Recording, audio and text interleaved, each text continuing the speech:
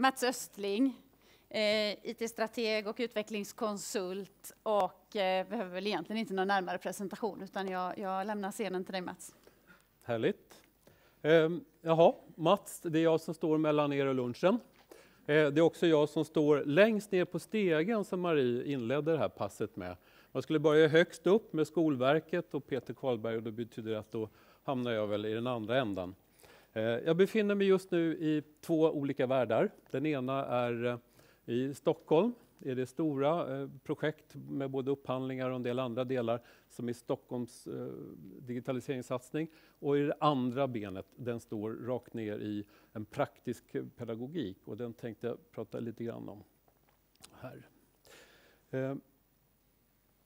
Mycket av det vi har hört, hela det här eh, tänket egentligen kring, kring skola, pedagogisk utveckling, handlar i grunden om, om tillgång. Tillgång till eh, lite olika saker. Några är sådana där självklara.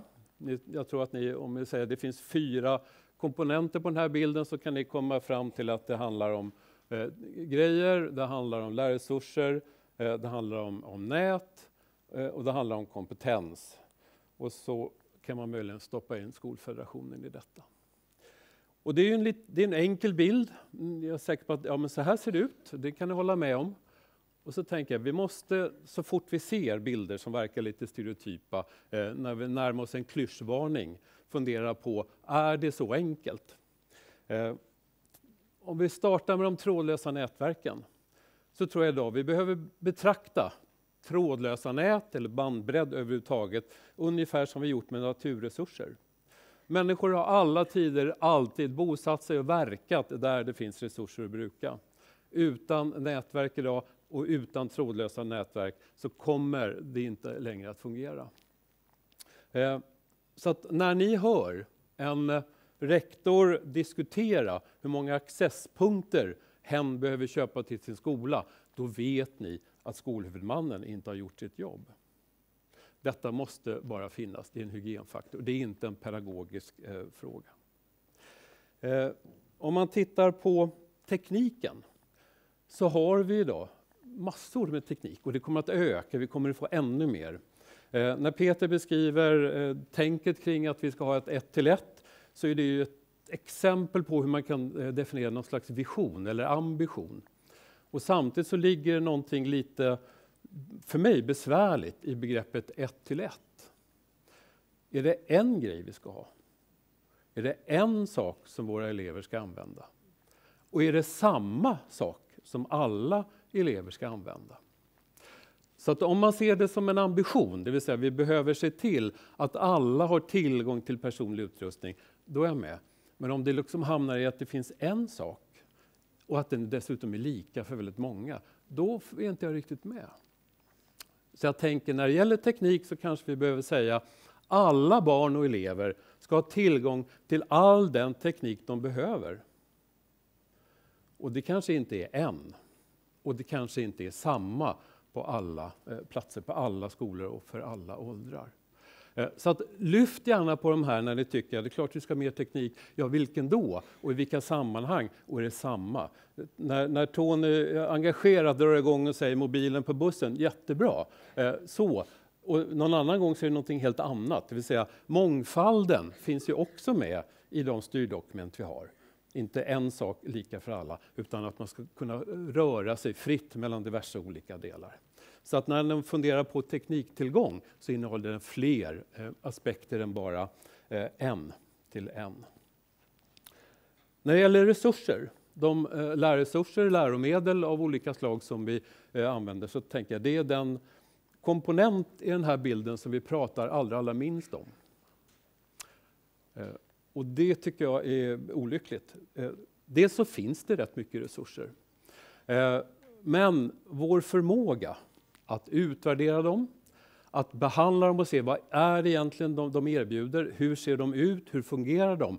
Där kommer vi inte riktigt tillräckligt djupt, tänk, tycker jag, i de resonemang och funderingar och utvärderingar som vi gör.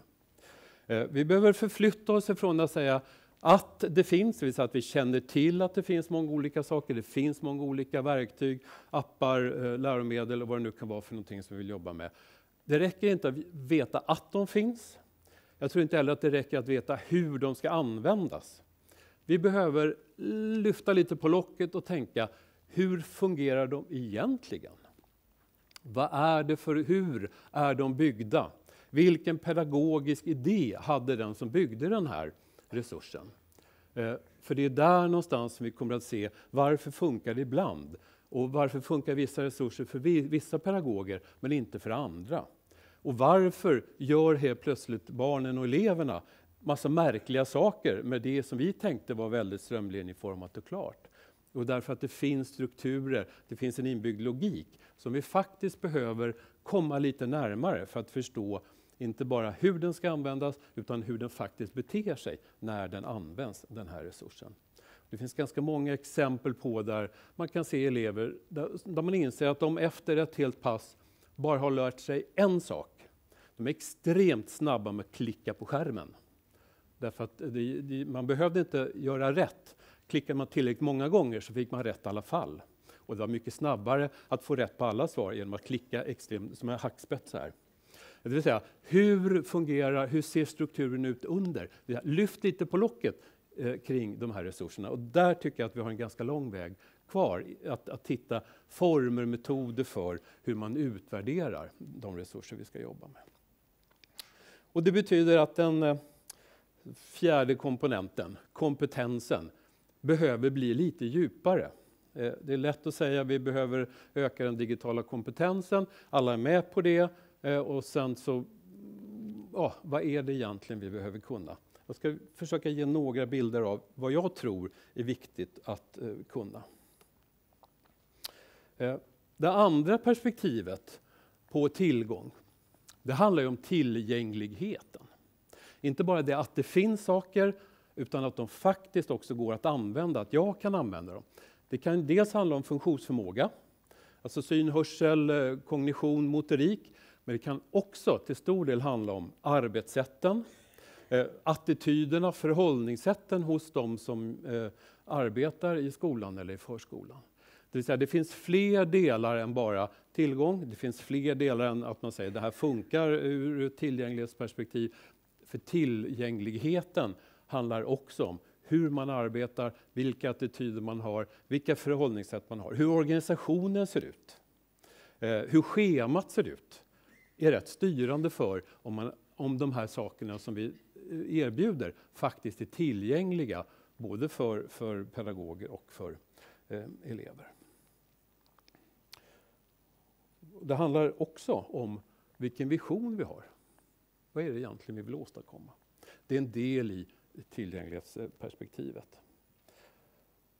Jag tänker det är väl där som det här med skärmtid så blir så intressant. Jag ska inte fördjupa mig i det, men, men någonstans, vad är det egentligen, hur, vad är det för någonting som, som begränsar eller möjliggör eh, användning? Mitt exempel är den här. Eh, det är en, en distansutbildning, en YH-utbildning på halvtid. Eh, det är Medieinstitutet som utbildningsanordnare. Det är jag och Christer tyckte jag såg någonstans här nyss, där, som arbetar med den. Eh, den är en tvåårig utbildning. Det handlar om digital produktion och pedagogisk verksamhet. Det är ett sätt att komma lite djupare, komma lite längre in i hur vi förstår de verktyg vi har och hur vi själva också kan vara med i, i produktionen. Så. Branschen i dess helhet är en av de viktiga delarna i alla YH-utbildningar, också i den här. Vi har jobbat med tre huvudområden. Pedagogik, innehåll och produktion. Eh, alla tre ligger hela tiden med. När det gäller pedagogiken så jobbar vi utifrån det vi vet idag, runt om det heter utmärkt undervisning eller om vi kallar det för synligt lärande. Det vill säga vi försöker hitta de faktorer som vi vet ger effekt i, i lärandesituationen. Det vi vet på något sätt gör att barn och elever lär sig mer. Eh, vi funderar på de olika perspektiven och så kommer då liksom den här stora frågan. Hur ska en lärresurs se ut för att faktiskt ge stöd till utmärkt undervisning? Vad är det för egenskaper? Hur ska den vara utformad? Så att vi inte bara säger att ja, det är pedagogen som formar situationen. Därför att det är naturligtvis så, det finns en inbyggd pedagogik och, och logik också i lärresursen. Hur ska den lärresursen se ut för att ge stöd till de eh, olika moment, faktorer eller eh, händelser som vi vet spelar roll. Vilken effekt får vi och hur vet vi det? Vi jobbar förstås med innehåll i all, dess alla olika former. Där, ja, det finns ju hur mycket som helst. Eh, det gäller att, att, hitta ett bra sätt att få till innehållet, att jobba med det pedagogiskt och att sen producera. Att få till det här. Eh, så vi jobbar med poddar, vi jobbar med bildutställningar, vi gör video, eh, jobbar med webb, Saga Nobeller, ett antal olika produktioner på distans, i grupp. Vi har arbetat med eh, de här olika delarna. Vi jobbar rätt mycket med att utvärdera lärresurser och lärplattformar. Med mobilen, vi jobbar, tänker runt användarupplevelser, alltså hela det här spektrat som jag tänker är den fördjupade kompetensen kring de digitala resurserna och digitala verktygen. Eh, vi jobbar inte med Skolfederationen, men om ni ser liksom listan här, plus 20, jag skulle säga att vi är uppe i 30 olika verktyg. Vi har ingen som helst federation, vi har hur många, vi bara gödslar med lösenord och i användaridentiteter kors och tvärs. Eh, vi skulle vara betjänta av en inloggning. Eh, men vi, ett sätt att ta oss igenom alla de här olika perspektiven som gäller eh, användning av digitala resurser i, i, pedagogisk verksamhet. Vi använder mycket eh, de här två. Det är Google Classroom som den enkla lärplattformen och vi använder Hangouts som en regelbunden fredagsaktivitet. När ni andra håller på med fredagsmys så sitter vi i, i, och fredagsmyser med hangouts tillsammans med, med de som går de här utbildningarna. De som går här är digitalt kompetenta. Jag skulle inte säga att de har digital kompetens, det är en ganska passiv. De är digitalt kompetenta. De har en bild av hela flödet. De har kunnat utvärdera, följa, själva vara med och skapa, själva vara med och producera betyder inte att alla kommer att producera, men alla kan gå in i en situation där man säger vad är det vi ser framför oss? Hur kan vi använda det? Hur kan vi utvärdera, analysera det här och hur kan vi få in det i en effektiv och bra eh, lärsituation? De här digitalt kompetenta är de som kommer att hålla ihop en del av det här arbetet. Alla som jobbar i skolan eller förskolan kanske inte hamnar här. Men vi behöver ha fler eh, som kan lite mer. Eh, det räcker inte att ha en lite allmän sån digital kompetens. Vi behöver fördjupa en del av det här. Vi behöver framförallt bli bättre på att utvärdera verktyg och resurser. Vad de egentligen kan, hur de egentligen fungerar och vad är det som händer när vi, när vi sätter in det här i en, en pedagogisk situation.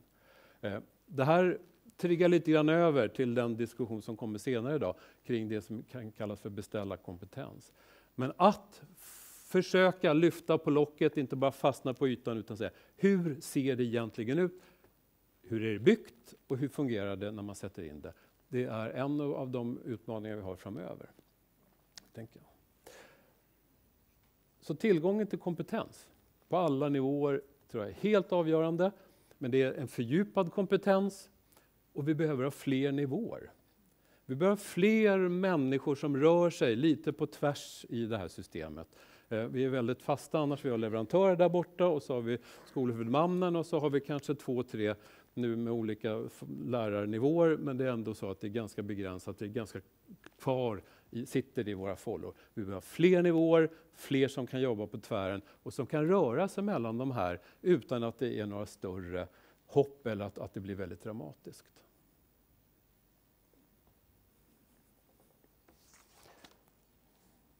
Det här är ett sätt att överbrygga mellan teknik och praktik. Och då ska ni eh, få ett slutord. Så här. Eh, jag hör ibland folk som säger jag är ingen tekniker. Säg aldrig det något mer. Säg just nu kan jag inte det här.